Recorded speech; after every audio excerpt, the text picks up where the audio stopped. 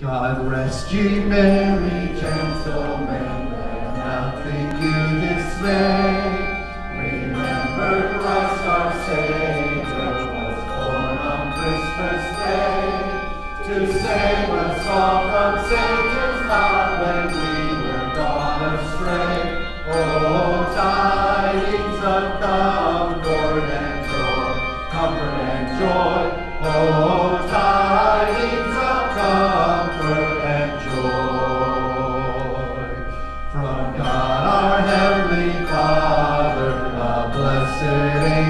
came, and unto certain shepherds brought tidings of the same. The word in Bethlehem was born, the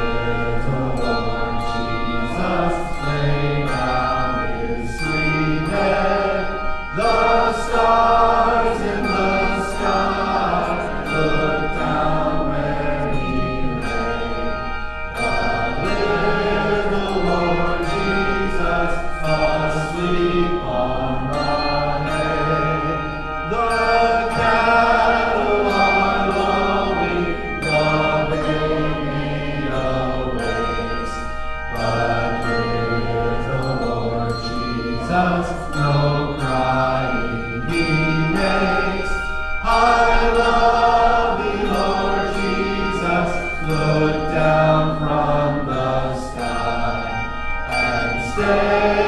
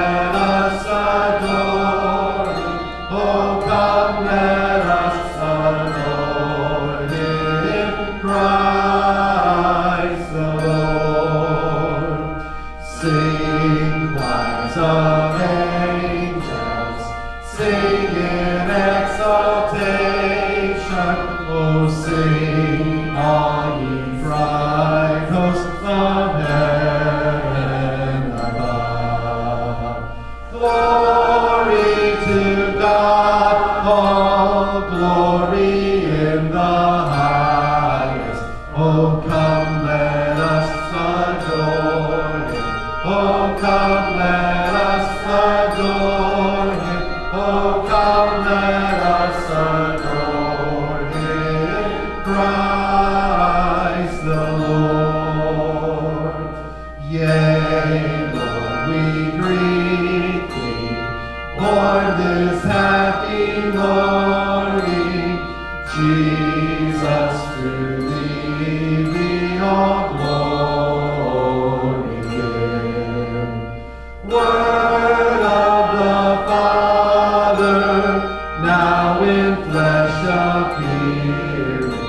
Oh, come, let us adore him.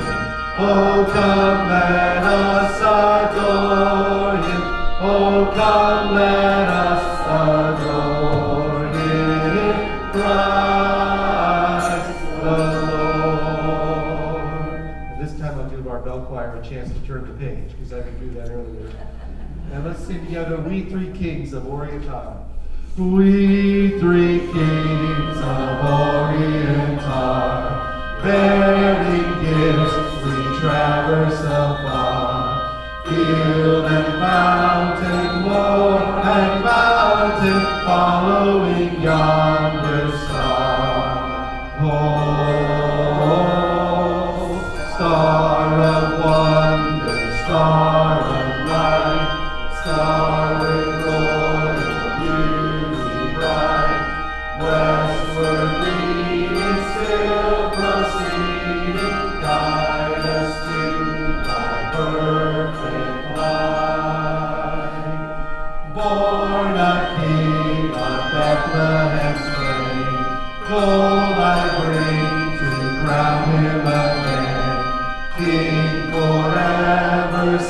ceasing never, over us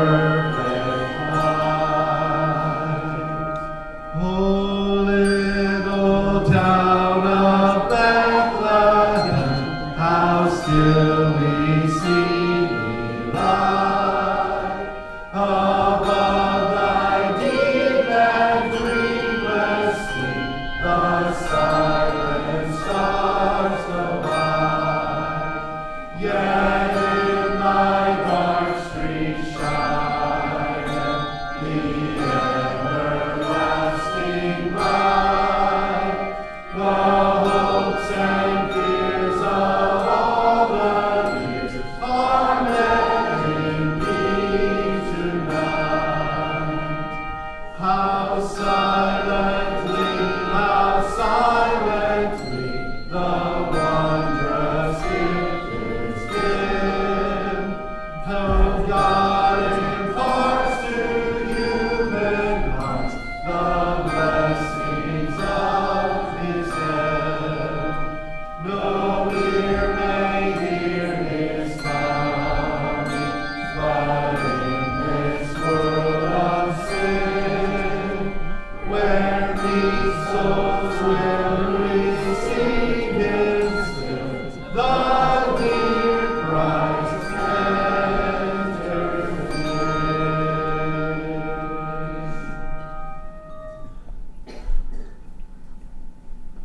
Please join us for the offertory prayer.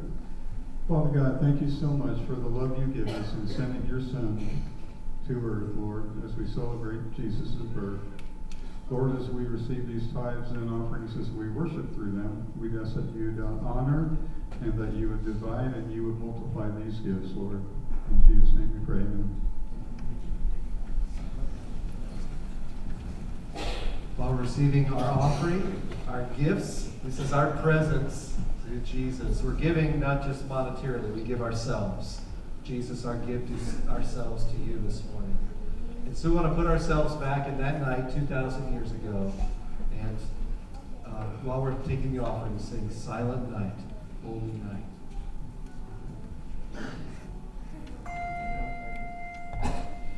Silent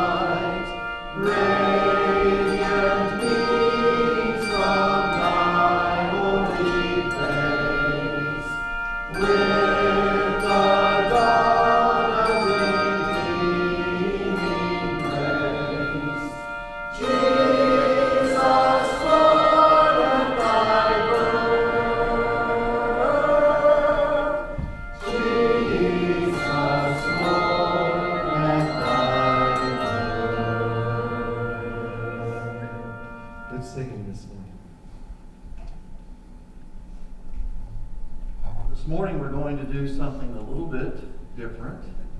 So if you are a child or a child at heart, and I know there are a few of you here, if you are a child and you'd like to join me on stage, I would love to read a story to you.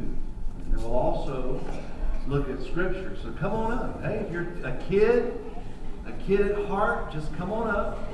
Come on up. We got plenty of room. The manger is, is empty. If you come up, I have a gift for you. Does that make a difference? Oh. Okay, now I'm starting to see a few more people.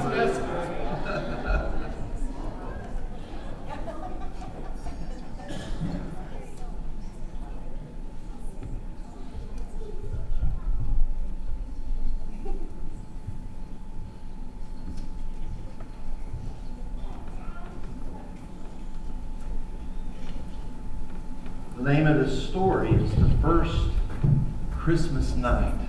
Thank you, big kid. The Bible tells us in Isaiah chapter 9, verse 6 For unto us a child is born, and unto us a son is given.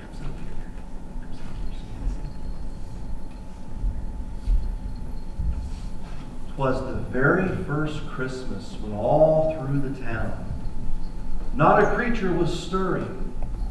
There was not even a sound. The moon shining bright and the heavens so high gave the luster of midday to the Bethlehem sky. The animals were nestled in warm, cozy places with looks of contentment on each of their faces. Mary and Joseph, so tired from the road, had just settled in to a humble abode. To a Bethlehem stable they had traveled with care. They knew that their baby would soon be there. And then, in the stable, a baby's first cry Peace on earth, goodwill redemption is nigh. He had not a crib, but in a manger instead. The tiny new baby laid down his sweet head. Mary looked down at his cute little nose and silently counted ten fingers and ten toes. As shepherds kept watch on a small nearby hill, their sheep were all silent and sleepy and still. When suddenly in the sky there rose such a sight, one angel and then many appeared in the night. The heavens rejoiced as their story unfurled. A baby, a Savior, had been born to the world. So the shepherds arose to search for the place, to get a close look at the baby's sweet face. Then, out of the east, there came royalty, whose mission was finding the Savior, you see. When they finally found the babe they had sought, gold, frankincense, and myrrh were the gifts that they brought. So the wise men bowed down and praised his sweet name. Soon all those who had heard would rejoice that he came. And now we that know can say with delight, Jesus was born on that first Christmas night. In Luke chapter 2 and also in Matthew chapter 2, we read the Christmas story from the Bible and it came to pass in those days that there went out a decree from Caesar Augustus that all the world should be taxed. And Joseph also went up from Galilee out of the city of Nazareth into Judea unto the city of David, which is called Bethlehem, to be taxed with Mary, his espoused wife, being great with child. And so it was that while they were there, the days were accomplished that she should be delivered. And she brought forth her firstborn son and wrapped him in swaddling clothes and laid him in a manger because there was no room for them in the inn. And there were in the same country shepherds abiding in the field, keeping watch over their flock by night. And lo, the angel of the Lord came upon them, and the glory of the Lord shone around about them, and they were sore afraid. And the angel said unto them, Fear not, for behold, I bring you good tidings of great joy, which shall be to all people. For unto you is born this day in the city of David a Savior, which is Christ the Lord. And this shall be a sign unto you. You shall find the babe wrapped in swaddling clothes, lying in a manger. And suddenly there was with the angel a multitude of the heavenly host, praising God and saying, Glory to God in the highest, and on earth peace, goodwill toward men. And it came to pass as the angels were gone away from them into heaven, the shepherds said one to another, Let us now go even unto Bethlehem and see this thing which has come to pass, which the Lord hath made known unto us. And they came with haste, and they found Mary and Joseph and the babe lying in a manger. And the shepherds returned, glorifying and praising God for all the things that they had heard and seen, as it was told unto them. In Matthew chapter 2, now when Jesus was born in Bethlehem of Judea in the days of Herod the king, behold, there came wise men from the east to Jerusalem, saying, Where is this that is born the King of the Jews? For we have seen his star in the east, and are come to worship him. And lo, the star which they saw in the east went before them, till it came and stood over where the child was. When they saw the star, they rejoiced with exceeding great joy. And when they were come into the house, they saw the young child with Mary his mother, and they fell down and they worshipped him.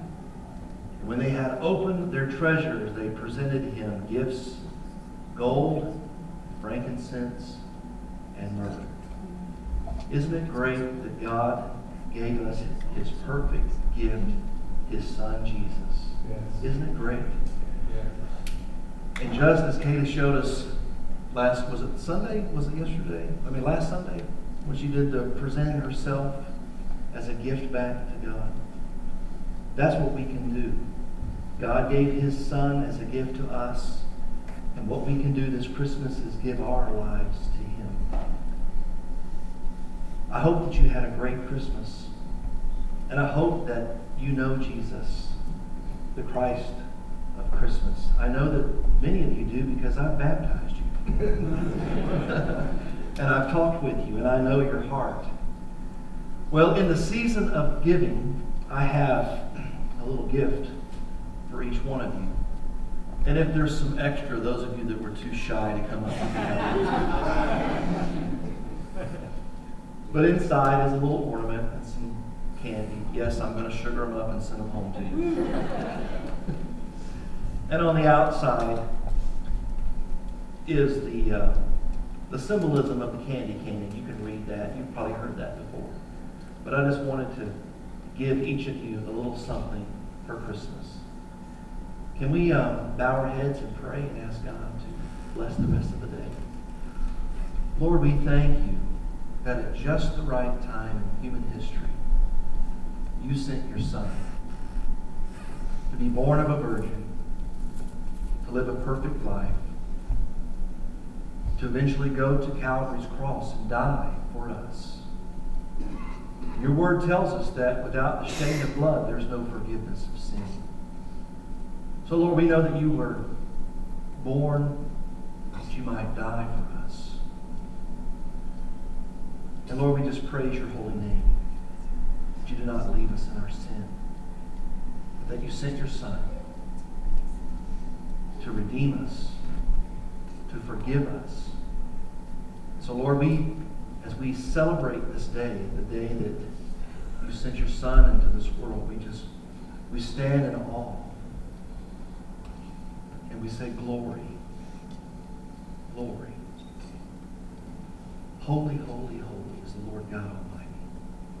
We thank you for the precious gift of your Son. We pray that this day would be a day that you would be honored. And as we leave this place today, we pray that as we go with our families, that you would be high and lifted up in our lives. In Jesus' name we pray. Amen. And you're dismissed. Pray that you have a great Christmas day. And if there's any gifts left, you can have them.